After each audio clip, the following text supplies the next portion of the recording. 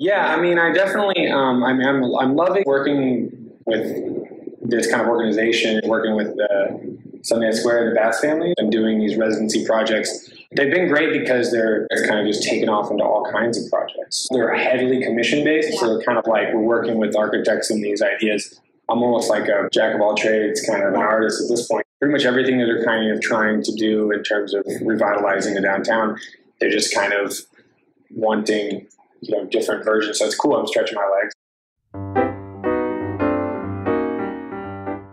I think that it can be tedious. I don't love social media. I'm not very good at it, but I think that the ones who are, it's helpful. An artist's ability to talk about their work, or an artist's ability to chase opportunities, or an artist's ability to get grants.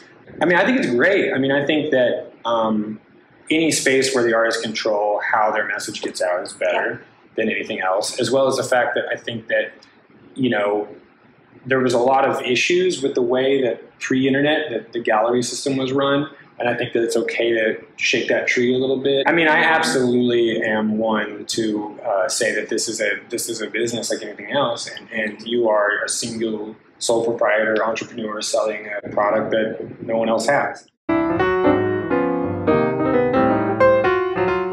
One thing that can be so hard, especially if you spend all your time in your studio, is you don't really realize how far your reach is. You don't really realize where your work is, who's seeing it, who's talking about you. You can't see your fan base. And so sometimes it feels like nobody likes me. I don't know where they are, but there's all these people watching you that you didn't even know, you know? And, I, and in this process, especially when I've done big shows, I've had people walk up like, oh, I've been looking at your work for years. And I'm like, what?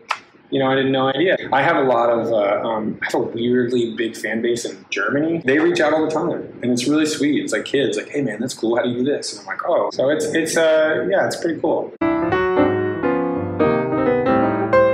Dang Good Candy, yeah. So uh, um, the name Dang Good Candy comes from uh, my my partner. He passed away uh, this last year, Jeremy Joel. Yeah, Jeremy. He's just sending me this video of him just popping out and going, "That's Dang Good Candy," because it almost sounds like he's complimenting the stuff in a way, you know. So it's kind of fun. So like, well, I, uh, my studio down as part of my residency is downtown, and it's a really beautiful space and a prominent building, and and so we just built a few temporary walls and left it as this kind of like raw gallery space in the front. Mm-hmm. And I, I kind of want to use it to do these kind of like rough around the edges, kind of solo shows for artists who are kind of in a space who've never done that. So yeah, it's just going to be a cool, I think in the kind of um, air of the way downtown's looking, the cultural map of it, it'll be this kind of gnarly, fringy gallery space where you can come in and like be directly next to artists working and, and you know sit on the couch and have a beer with them and see work and, right. and, and you know because there's going to be so many spaces that kind of